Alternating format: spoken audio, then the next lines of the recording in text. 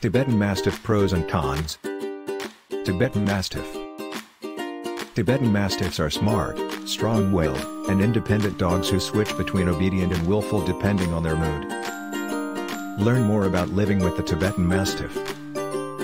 Fuzzy and adorable Tibetan Mastiff puppies grow into strong, determined, and sizable dogs, resembling lions or even Tibetan bears. This ancient breed's history is somewhat mysterious, but we do know that they were bred to defend herds, monasteries, and palaces in the Himalayas. The breed is thought to be the ancestor of modern Mastiff breeds. Years of selective breeding have eroded some of the original characteristics of the Tibetan Mastiff, introducing new colors and more mass. Intelligent and willful, this breed learns new skills with ease but only when he's in the mood. People that do best with the breed have a sense of humor and appreciate just how clever they are. It's relatively rare to see a Tibetan Mastiff in the United States. Appearance The Tibetan Mastiff's defining features are his lion-like mane and massive stature. Full-grown females can be 24 inches or more at the shoulder, and male Tibetan Mastiffs can be 26 inches at the shoulder. Females weigh 70 to 120 pounds and males weigh 90 to 150 pounds.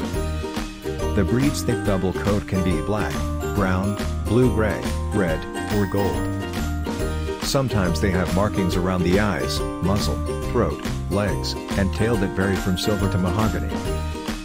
The outer texture of that coat is thick and coarse, while the inner texture is soft and wool-like. The Tibetan Mastiff requires little grooming, except during the annual spring to summer shedding, or coat blowing season, when hair will be everywhere. The tail is feathered, similar to the mane, and arches over the dog's back in a curl. The ever-watchful, serious, deep-set eyes can be any shade of brown. Temperament Tibetan Mastiffs are best suited for owners with dog training experience and patience. Tibetan Mastiff temperament is aloof, independent, willful, and highly intelligent. They do not look to their people for direction, which is an issue for many people, they are guardians of people and property and can take the job very seriously.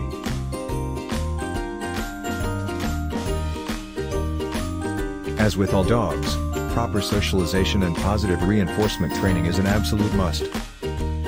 Living needs Give Tibetan Mastiffs a yard to roam and protect and they'll be pleased they usually don't mind spending time alone. Though, that yard must be fenced in, a traditional, secure fence is an absolute must-have. Tibetan Mastiffs will wander,